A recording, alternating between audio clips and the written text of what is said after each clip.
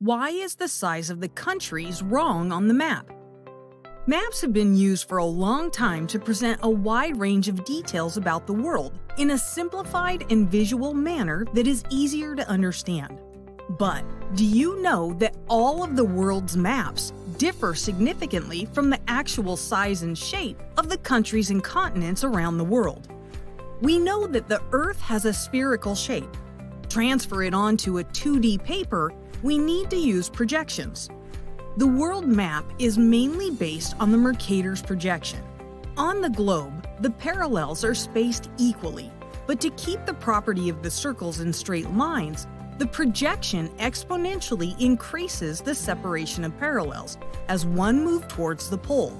As a result of this, some regions on the world map look far bigger than they are in reality, while others are drawn smaller. Let's understand the Mercator projection with the help of an example. Here we have a state of the US known as Wyoming. The shape is perfectly the shape of a square. If we stack one unit of Wyoming on top of each other, then we will get more and more distorted while approaching the North Pole. However, when approaching south towards the equator, this shape continuously squishes. Now, let's have a look at some of the other states of the US. Everyone loves Texas, but its size is comparatively very small on the map than in reality. If Texas is put together, then it's even bigger than France. On the other hand, Alaska is the biggest state of the US, but on the map, it seems to be comparatively smaller. Moving on to Europe, let's have a look at how big Europe looks and what its size should be in reality.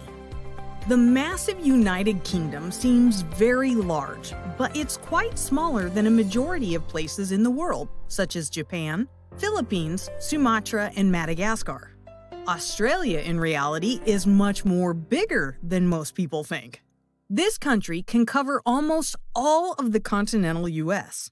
Another example of a country really big but seems small on the map is Canada. Its shape and size is distorted when placed in Europe, where it stretches from the east towards the west. In the list of regions that are bigger than their representation on the map, the next is Japan and Brazil. If we compare the size of Brazil with the continent of Australia, then we can see that Brazil is even larger than the whole of Australia. Africa is another colossal continent that most people don't know about only the Sahara Desert is enough to fit the entire state of the US. If we consider the whole African continent, then we can come to a conclusion that it can fit the United Kingdom, India, China, and many other regions of the world, but we'll still have some place left. When seeing the world map, the first thing most people notice is the big Russia at the top of the map. But as compared to Africa, it's much smaller.